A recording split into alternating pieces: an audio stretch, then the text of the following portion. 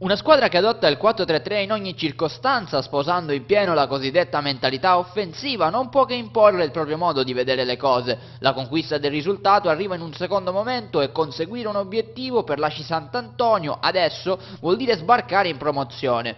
Ad un paio di settimane di distanza dalla resa dei conti, Patanè, uno degli attaccanti principali della squadra, ci parla delle possibilità del suo team nella finalissima e analizza insieme a noi la natura ambivalente di questa attesa, che potrebbe sia riposare i muscoli che raffreddare la mente. Il gruppo è quello che fa della nostra forza l'arma in più in campo e poi i tifosi che ci sostengono anche fuori casa ed è un piacere giocare con 100, 200, 300 anche tifosi a seguito. Eh, ne ha parlato anche il mister, nel vostro modo di essere atleti e di vivere la partita, eh, queste settimane che vi separano dal big match, dalla finalissima, saranno più di inattività o di riposo?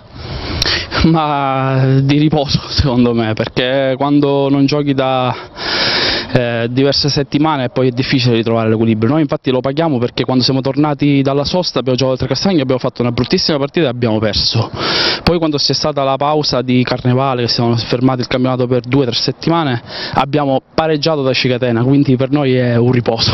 La promozione comunque assolutamente alla vostra portata? Sì, sì, sì, siamo consapevoli della nostra forza e aspetteremo l'altro spareggio per vedere chi affrontare ma al massimo delle nostre forze.